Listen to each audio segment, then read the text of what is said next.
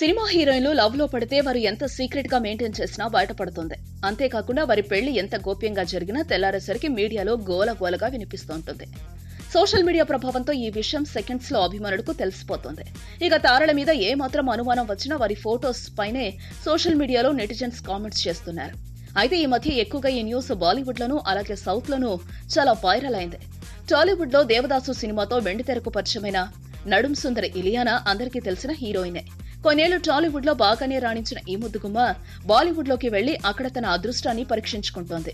అయితే ఈమె గత కొంతకాలంగా ప్రముఖ ఫోటోగ్రాఫర్ ఆంటోనీ పోన్తో ప్రేమను కొనసాగిస్తోంది. అంతేకాకుండా బికినీ ఫోటోలతో అమ్మడు షాక్ ఇచ్చింది. ముఖ్యంగా టాలీవుడ్ ప్రేక్షకులకైతే మైండ్ బ్లాక్ అయింది. అసలు విషయానికొస్తే అమ్మడు ఇరియానా తన బాయ్ ఫ్రెండ్తో ఎప్పుడో వివాహం చేసుకుందని టాక్ వినిపిస్తోంది. పెళ్ళైందని తెలిస్తే మళ్ళీ కెరియర్కి ఎఫెక్ట్ పడుతుందేమో అని అమ్మడు చాలా సీక్రెట్గా వ్యవహరిస్తోందట.